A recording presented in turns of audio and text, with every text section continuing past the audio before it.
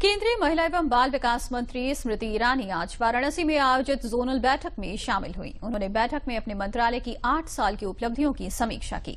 आयोजन के दौरान विभिन्न योजनाओं के लाभार्थियों के साथ संवाद भी किया। स्मृति ईरानी ने अपने संबोधन में कहा कि प्रधानमंत्री नरेंद्र मोदी ने कहा है कि महिला राष्ट्र के उत्थान में मूक दर्शक बनकर नहीं रही, बल्कि राष्ट्र की प्रगति में पुरुषों के साथ बराबर की हिस्सेदार रही है। एक पीढ़ी ऐसी जिसने संघर्ष छोटी उम्र में देखा।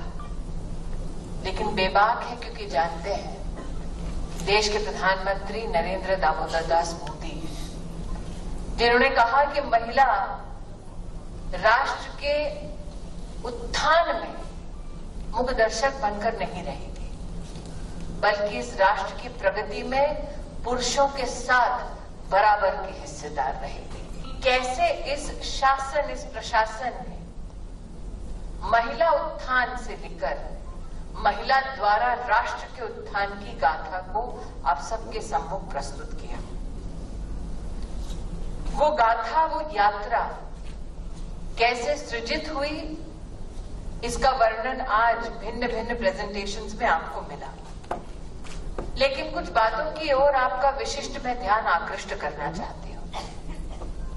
मैंने कहा, जी, आज हरिद्वार से बनारस आई। बच्चे को संग लाए। हमारी एक प्रस्तुतिकरण में हमने दिखाया और साक्षात देखा कि कैसे एक यात्रा में एक बच्ची अपने परिवार से बिछड़ गई।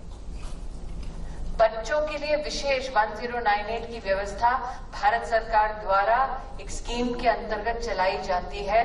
और आज इस बात का थोड़ा बहुत संतोष कर सकते हैं कि साल 2014 से लेकर साल 2021 तक उस एक बच्चों की हेल्पलाइन के माध्यम से देश में 18 लाख बच्चों का संरक्षण सरकार प्रदेश की सरकारों के माध्यम से कर पाई